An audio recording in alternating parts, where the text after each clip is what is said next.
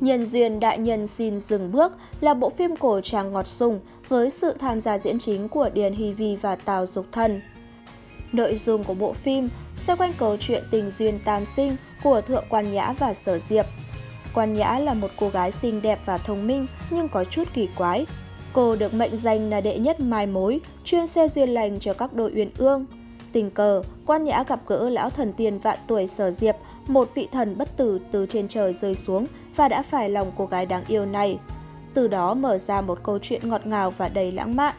Nam chính Sở Diệp là một vị thần quyết đoán, sát phạt, luôn tuân thủ nghiêm ngặt quy tắc.